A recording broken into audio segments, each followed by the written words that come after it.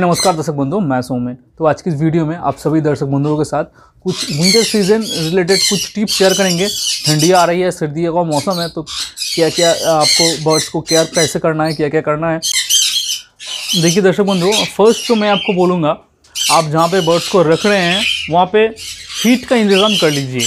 मतलब कि बहुत सारे लाइट्स या बल्ब जो होता है या कुछ हीटर वगैरह का कुछ यूज़ सिस्टम कुछ लगा लीजिए ताकि रूम का टेम्परेचर को आप इजीली कंट्रोल कर पाए। कब गर्मी रखना है, कब खोलना है, कब ठंडी देना है, ये सब आप आपके हाथ में हो। तो इसलिए बल्ब का यूज़ बेस्ट है मेरे ख्याल से। हीटर वगैरह तो बहुत महँगा हो जाएगा। सौ वाट का अगर आपका दस बाई दस का रूम है तो सौ वाट का दो बल्ब इनफ है। ठीक है? दस घंटे ऑन रखिए रात के टाइम इवनिंग में मतलब इवनिंग छः बजे से रात के थोड़ा तक ऑन रखिए।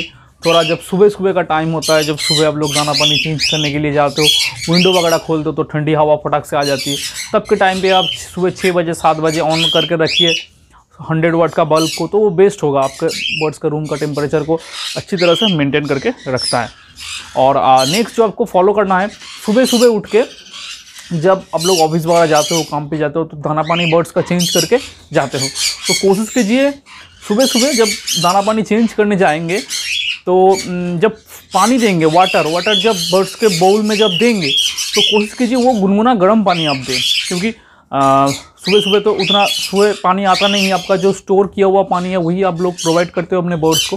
तो क्या होता है बर्ड्स लोग थोड़े बहुत ठंड लगने, लग जाती है, वो ठंडा पानी पी के बर्ड्स को सुबह सुबह पानी देंगे, ठंडा स्टोर वाला पानी बर्ड्स पिएगा, फटक से बीमार हो जाएगा। दो तो तीन दिन कंटिन्यू करेगा, फिर बर्ड्स के गले में प्रॉब्लम आ जाएगी, बीमार हो जाएगा।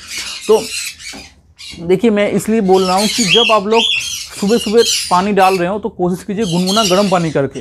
अब भाई, बहुत सारे लोग बोलेंगे, भाई, हमारे पास बहुत सारा बर्ड है।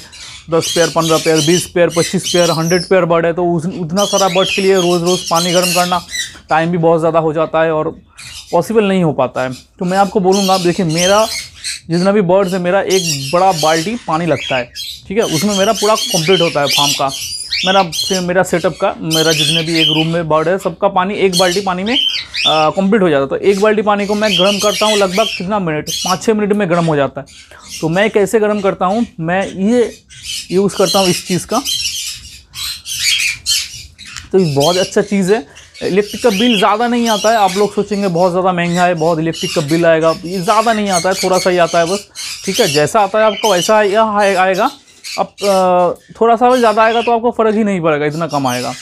अब बस पाँच मिनट के लिए रखना है, पाँच मिनट में आपका पूरा बाल्टी, पानी आराम से ये गुनगुना गर्म कर देता है। तो जिस तरीके का गर्म ये गुनगुना करता है, वो आप बर्ड्स को दे सकते हैं। आपका बर्ड्स सुबह उठ के वो वाला जब पानी पिएगा बर्ड्स हैप्पी रहेगा, हेल्दी रहेगा। पानी गुनगुना देने से पूरा विंटर आपका आराम से बर्ड्स चला जाएगा बर्ड्स सारे हेल्दी रहेंगे। ठीक है? और मेन जो आपके बोला मैं लाइट्स का आपको खास ध्यान रखना है, हीट, रूम में हीट बरकरार रहे। अब जो थर्ड जो टिप्स है, ये मेन टिप्स है। देखिए दोपहर के टाइम आप देखेंगे विंटर के टाइम दोपहर में एक हवा आती है हल्का सा हवा आती है, जिससे आप हमारा जो है कि होंठ बोट फटता है। और वो हवा लगते हम लोगों को ज़्यादा ठंडी लगती है। सुबह भी आ सकता है, रात को भी आ सकता है। तो विंटर का ये जो ठंडी हवा आती है, ये जो ये जो हवा आती है, ये हवा आपको रोकना है, ठीक है? तो जिस भी साइड से ये हवा आती है, चाहे वो दक्षिण से साइड के आए, चाहे वो उत्तर के साइड से आए, जिस भी साइड से आए तो वो साइड को आपको ब्लॉक करना है। बहुत लोग आपको बोलेंगे, भाई, ये साइड को ब्लॉक करो, ये साइड को ब्लॉक करो। देखिए, अगर आपका एक मैदान के बीच में घर है तो हवा किसी भी तरीके से रोटेट करके आ सकती है। अभी तो बोल नहीं सकते। तो मैं आपको बोलूँगा कि चारों ही तरफ़ को, चारों ही दिशा को ब्लॉक करके रखिए। आपका जो विंडो वगैरह है, उसको अच्छे से कवर करके रखिए। वो जो विंटर का ठंडी हवा है, वो आपको बर्ड्स को डायरेक्ट बर्ड्स के बॉडी में ना लग पाए। आपके रूम के अंदर ना घुस पाए ठीक है? आ, दिन में एक दो घंटा आप जब नोटिस कर रहे हैं देख रहे हैं तब विंडो वगैरह थोड़ा खोल के रखिए फ्रेश हवा अंदर बाहर हो वेंटिलेशन ठीक है? लेकिन पूरा दिन पूरा रात विंडो वगैरह को ऐसे खोल के मत रखिए। आप बोल रहे हैं भाई मैं तो भाई लाइट्स का यूज़ कर रहा हूँ रूम को हीट दे रहा हूँ हीटर का यूज़ कर रहा हूँ। तो देखिए ऐसा नहीं है आपको रूम को गर्म करने से नहीं होगा। आपको जो बाहरी से जो हवा आ रही है, उसको भी कंट्रोल करना होगा। बाहरी से जो हवा आती है, ठंडी हवा, उसको भी कंट्रोल करना होगा। नहीं तो रूम के अंदर लाइट्स देके भी फ़ायदा नहीं है। ठीक है? और फिंच लोग, जितने भी लोग पालते हैं तो एक फुट का यूज़ कीजिए ज़्यादा से ज़्यादा। एक फुट का यूज़ कीजिए। कुनूर लोग ज़्यादा से ज़्यादा, जो कुनूर लोग पालते हैं, कुनूर, वो भी एक फुट का यूज़ कीजिए। सीड मिक्स में आप ब्लैक सीड ऐड कर सकते हैं सनफ्लावर सीड ऐड कर सकते हैं। जो गरम गरम सीड होता है, वो खाने से बर्ड्स को अंदर से एक हीट पैदा होती है। तो यही कुछ टिप्स था आशा करते हैं आप लोगों को पसंद आएगा। पसंद आए तो लाइक करना शेयर करना। और जितने भी लोग हैं, एक टिप्स और है। जितने भी लोग हैं कुनूर फ़र्स्ट टाइम पाल रहे हैं, चाहे वो बच्चा सन कुनूर हो या बच्चा येलो साइड हो। मतलब कि एक केज में अब बच्चे से उन लोगों को एडल कर रहे हैं।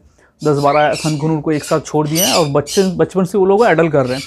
तो विंटर के टाइम उन लोगों को आप कोशिश कीजिए कि वो जो केज है, वो केज के अंदर एक बॉक्स फिट कर देने की कोशिश कीजिए। बॉक्स रहेगा बर्ड्स क्या होगा कि रात के अंदर वो बॉक्स के अंदर घुस जाएगा और उन लोगों को ठंडी नहीं लगेगी। मतलब कि बॉक्स के अंदर, लकड़ी का बॉक्स होता है वुडन बॉक्स बॉक्स के अंदर ये लोग ना आराम से गर्मी गर्मी में पाँच छः बर्ड एक साथ घुस के रहते हैं। जैसे बेंगलोर स्वेड फिंच होता है मतलब कि दस पेयर बर्ड बंगाली फिंच को तीन बाई तीन के केज में रखेंगे, एक छोटा सा टोकरी देंगे ना, रात को देखेंगे सब एक साथ घुसे रहते हैं। बीस बर्ड बीस बर्ड ही एक छोटे से टुकड़ी के अंदर घुसे रहते हैं। कुनूर में भी सेम ऐसा है, लड़ाई झगड़ा नहीं करते, दस बारह बर्ड है कुनूर एक या दो बॉक्स लगा देंगे, दो साइड में केज में तो देखेंगे आधा आधा करके वो लोग रात को बॉक्स के अंदर घुसे रहते हैं। पाँच छः महीने के सात आठ महीने के कुनूर है तो उन लोगों को भी ठंड लग जाती है। ठंड में वो लोग एक्सपायर होने के चांसेस होते हैं। इसलिए बॉक्स अगर आप लगा देंगे कुनूर में तो वो लोग रात के अंदर घुसे रहेंगे, दिन में वो लोग सारा खाएँगे पिएँगे बाहर रहेंगे, लेकिन अंधेरा होते ही वो बॉक्स के अंदर चले जाएँगे।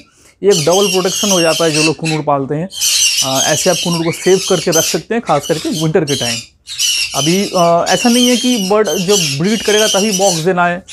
जब छोटा बच्चा इसको बॉक्स नहीं देना ऐसा नहीं है। उन लोग बॉक्स के अंदर रहना रात में सोना बहुत ज़्यादा पसंद करते हैं। तो यही कुछ टिप्स थी आप लोगों को?